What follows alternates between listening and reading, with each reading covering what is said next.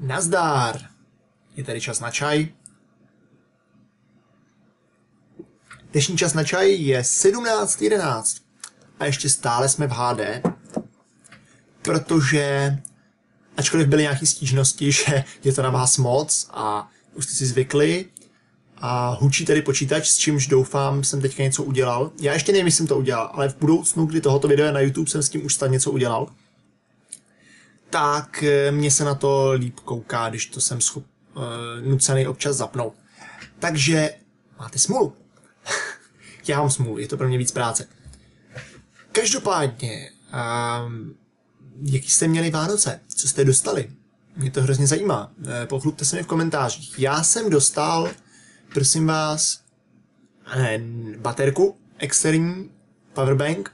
Problém je, to bych vás poprosil, jestli se v tom někdo prosím vás vyznáte. Já jsem dneska nějaký uprošený celý. Jestli se v tom někdo vyznáte. Uh, já mám tablet a správně by to tím mělo jít nabíjet tou powerbankou. Ona má uh, ten 5, 2,1 ampere výstup uh, USB, což je v pořádku. Co jsem se dočet, tak tablety uh, mají něco zabudovaného, aby jako nevysávaly z normálních USBček moc energie. Takže když to nenabíjíte přes tu nabíječku, co je k tomu, tak to prostě nefunguje. A že se prý dá pořídit nějaká redukce, nebo co si, co, přes co ten tablet do té externí baterky zapojíte a on se, na, on se nabíjí správně. Protože ono ne, že by tam žádná elektrika nelezla, ale leze jí tam málo. Já když to vypnu, a nebo když to mám jako celkový zhasnutý kompletně a, vyp, a jenom uspaný a tak, tak se to trošku nabíjí, ale prostě bere si to hrozně málo ačkoliv by to mělo brát správně, protože ten elektrický výstup je správně. Takže, jestli prosím vás se v tom někdo vyznáte, tak mi poraďte, jakou redukci si na to mám pořídit, protože já jsem si tu baterku kupoval speciálně kvůli tomu. Ona má prostě 1500 mAh nebo miliampere hodin, nebo co to je, když je to MAH. A nemůžu to z toho dostat pořádně, že Mohl bych si tím jako nabíjet telefon, tak to je super, ale já jsem to chtěl hlavně kvůli tomu tabletu. Takže prosím, jestli se v tom někdo vyznáte, tak mi poraďte. Eh, taky jsem si do tabletu pořídil k Vánocům od otce eh, SDčko 32 gigový, takže jsem si tam nahodil eh, celou třetí sérii Doktora Who a konečně se jí snad propracuju. A nahodil jsem si tam celou eh, dru, teďka třetí a teďka čtvrtou sérii Cory, Legend of Korra, a třetí už mám zkouknutou a teď jsem vyšletý a je to fakt dobrý. Děkuji Kirarovi, že mi řekl, že v třetí za to fakt stojí a mám tu druhou kvůli tomu dokoukat, protože druhá série Kory je úplně strašná. A jestli sledujete Koru, tak víte, o čem mluvím. Jestli nesledujete Koru, tak byste měli sledovat Koru, protože první série až na konec, eh, první série je dobrá až na konec, který je špatný. A druhá série je hrozná, ale doporučuji se tím prokousat jenom proto, abyste viděli, jak je hrozná a pak si mohli hrozně užít, jak třetí série je dobrá a čtvrtá je fakt taky dobrá. Ačkoliv tam teďka bylo takový dost, dost kliše, co jsem hrozně čekal. Každopádně je to dobrý. Um, takže to jsem teďka z toho nadšený, že, jsem, že to konečně vidím. Dostal jsem, když mi dáte chvilku, a tak já to vyhrabu. Jsem vlastně na kameře, já to stejně budu muset editovat, takže já můžu dělat střihy. Ty jo, to bude první úmyslný střih, eh, možná v historii. Takže, dostal jsem... Jo, bakterika! Jedno a mám ještě druhý. Já tam nevidím, doufám, že tam vidíte.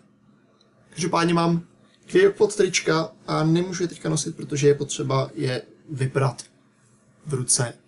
Um, jo, teďka jsem si říkal, že jsem nějak stmavnul a mě se vyply oba monitory. A každopádně jsou úžasný a skvělý a přidám si do kolekce svých hrozně drahých triček, eh, který nikdo neví, odkud jsou většinou. Um, taky mi připadá hrozně vtipný, mimo téma, mimo téma Vánoc, že polovinu diskuzí u každého mého videa někdo pořád řeší, jaký mám zrovna vlasy. Já obdivuju, že vás to baví. Teď mám tohle, čeho se fakt už potřebuju zbavit, protože jakmile to začne dělat takovýhle vlny, tak uh, to ne, to už je moc. Um, hmm. Takže s tím, s tím je potřeba něco dělat. No každopádně, Vánoce super. řekněte mi, co jste vy dostali. A ještě jsem, jo, ještě dostanu analytický kartáček, ale ten teprve, ten teprve přijde. Ještě nemám. A samozřejmě trenýrky a ponožky, ze kterých já jsem nadšený, nevím jak vy. Já už jsem v té fázi, kdy dostávat ponožky a trenýrky je pro mě hrozně super. A jsem, zase je to něco, co potřebuju. Dřív jsem byl naštvaný, když jsem něco tak, no ne naštvaný, ale bylo to takový to, proč to není Lego, proč jsou to ponožky a teď je to ponožky, konečně. No a nový rok, eh, já jsem nebyl na žádný pařbě, já slavím nový rok v Brně uh, s rodinou svojí přítelkyně a mám vždycky takový komorní koukání na televizi a hm, bouchneme šampu, se dáváme si chlebíčky a takhle. A, ale doufám, že byste měli pařby, všichni okolo měli nějaký hrozný pařby.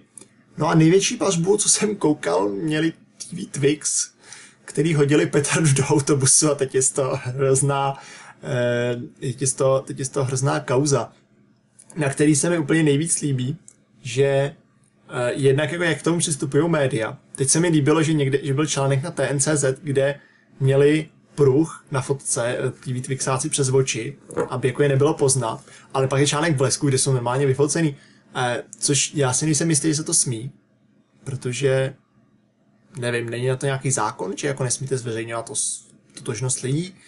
Každopádně to se mi líbí a je to samozřejmě smutný, protože jsem slyšel, že Blazerovi vypověděli z Panasonicu nějakou smlouvu kvůli tomu, že se bojí, aby z toho neměli průšvih. Eh, teďka na druhou stranu mě hrozně pobavilo, což sdílel, myslím, Seven na Facebooku, že nevi, nevinnému, eh, nevinnému youtuberovi zrušili smlouvu, nevinnému chlapci něco takového. To mi přišlo trošku jako až příliš, já nevím, je potřeba zmiňovat, že byli se nevinej, já teda nevím, jak moc je nevinej. Já jsem s ním byl na videokempu a tam mi napatlali e, tu kliku pastou, jo. Takže jak moc je Blaze nevinný, úplně nevím. Každopádně jako samozřejmě je to smutný a já mu to rozhodně nepřeju, ale teda ten titulek toho článku byl hrozný. A fakt mě zajímá, jak to, jak to s klukama dopadne. No, doufám, že nějak policejně, protože je mi úplně jedno, co dělají, ale eh, házet petardy do autobusu je fakt blbost. A kdyby to udělal kdokoliv jiný, tak, douf, tak doufám, že by dopad taky špatně. Minimálně pokutu pro boha.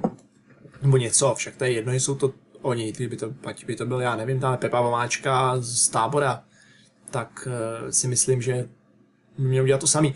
A spousta lidí píše, že jako no a co teďka místo to, prostě teď to řešíte, když, protože oni jsou prostě slavní na YouTube, já nevím, ale ve zprávách a v novinách je co chvíli nějaká zpráva o tom, jak nějaký dětská něco někde rozbili. To je, já nevím, to je úplně normální, my to řešíme všichni jenom protože je známe. Tak se o tom bavíme. Kdybych já znal tamhle Pepu Vomáčku z tábora, co hodil petardu do autobusu, tak bych se o tom taky asi bavil s lidma, co znají Pepu Vomáčku z tábora. Omlouvám se, jestli tohle sleduje nějaký pan Josef Vomáčka, který bydlí někde u tábora. Já veškerá podobnost s reálnými žijícími osobami, co hází petary do autobusů, je čistě náhodná a neumyslná. a druhá, druhý nejvíc komentáře, co mě baví, jsou proč tohle to řešíte, když tamhle uh, v nějakém muslim stánu, já nevím, kde se teďka prostě nás to děje, asi v Pákistánu předpokládáme nějaký průšvih. Uh, když tamhle v Pákistánu se prostě vraždí lidi, proč neřešíte to? Proč bych měl řešit, že se v Pákistánu vraždí lidi navzájem. Co pak se mě to týká, co pak tedy znám. Jako můžeme si o tom popovídat asi, ale tak na to se můžu podívat na zprávy a můžeme si o tom napsat nějakým tématu, který se týká krize na Blízkém východě, ale až budou TV Twix v, v Pákistánu a budou tam házet po lidech petardy, tak se o tom jako taky asi budu bavit. A já tam nikoho neznám. Tak jako to je moc pěkný téma, ale nějak se mě to jako netýká až na to, že je to hrozný. Úplně jako nevidím, v čem je ta pointa. Vy trávíte svoje dny, teďka jako vás neobvinuju, ale vy lidi, co píšete ty, ty komentáře, trávíte svoje dny tím, že jako neustále se všema probíráte jenom to nejhorší, co se zrovna děje. Takže když chci někomu říct, že prostě jsem ráno u Close na ledě a narazil jsem si kosteleč, tak bych tohoto téma měl vynechat, protože radši bychom se měli bavit o tom, co se děje na Blízkém východě. Jako já tuto logiku, já ji nerozumím. Ne, nechápu to. Jako samozřejmě se lidi baví o tom, co se jich blízce dotýká, nebo hm, jako v čem jsou nějak zainteresovaní. Asi takhle, jako to, nevím, nedává mi to smysl, tady ta argumentace. A tak no, je to pitomý. Do nového roku eh, bych, já si nedávám předsevzetí, ale byste si chtěli jako předsevzít, že nebudete dělat průšvihy, tak by to asi bylo fajn, si myslím. Hm. Ale moje předsevzetí tak jako trochu bylo, že, eh, že se sebou zkusím něco udělat. Jakože po této videové stránce, ne potom, že se budu ostříhat třeba, což taky. A jestli to teda nějak jako dobře dopadne s prací, což já, já jsem, já si pořád schválně nejsem jistý, protože já pak budu tak zklamaný, kdybych si byl jistý. E, tak to znamená, že mám vlastně každý večer, kromě čtvrtka, dobře, kecám, ne každý večer, ale prostě nějaký večery mám volno a mezi tím pracuju, takže jsem si začal dělat takový kalendářích, co bych asi chtěl zkusit dělat a uvidíme, no, jestli mě to nějak trošku nakopne, trošku se do něčeho zase pustit, no, snad, snad budu doufat, že, že to nějak proběhne.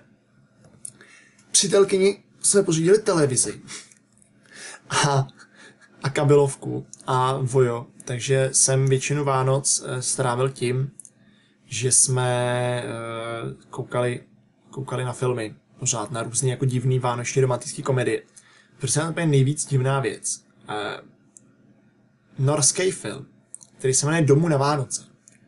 A popisek toho filmu prostě vypadá, jak kdybyste vzali eh, Láska nebeská, akorát to bylo norsky. Jo, tak jako podle toho popisu filmu to zní jako dost podobně.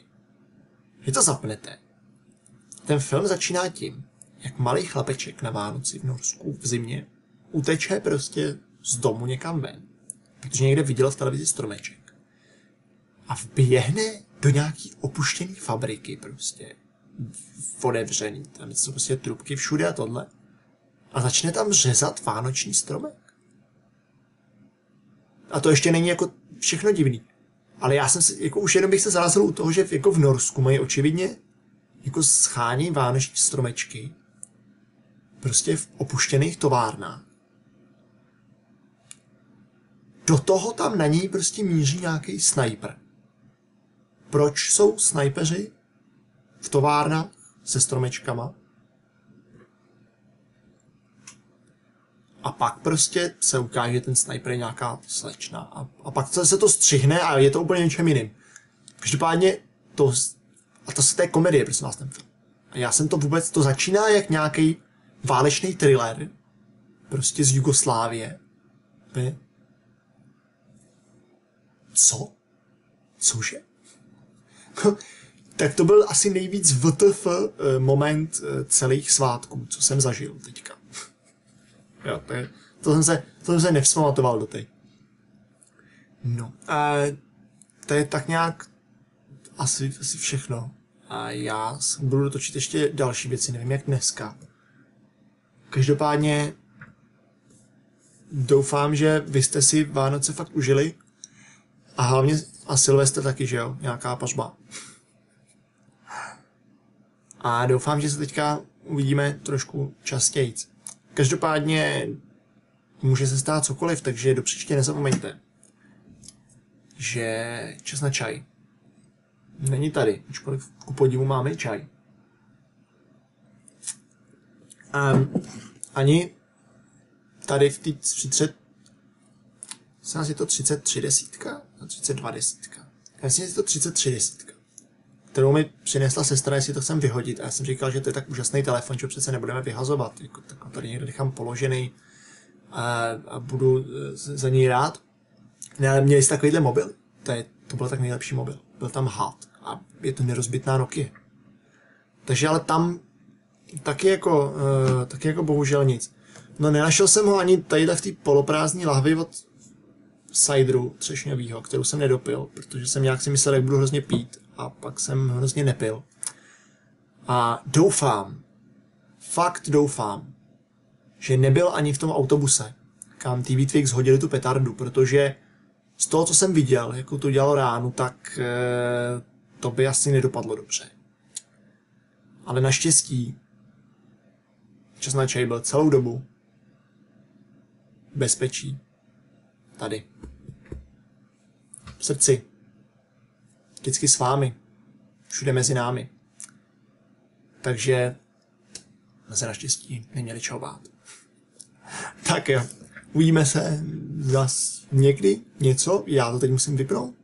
A vy tady budete vidět moji ruku, jak čukám na to červené tlačítko. Čemu se bohužel nedá vyhnout, protože já prostě nemám ten ovladač k tomu. Jsem k tomu nikdy neměl. Možná bych se měl pořídit. Zatím.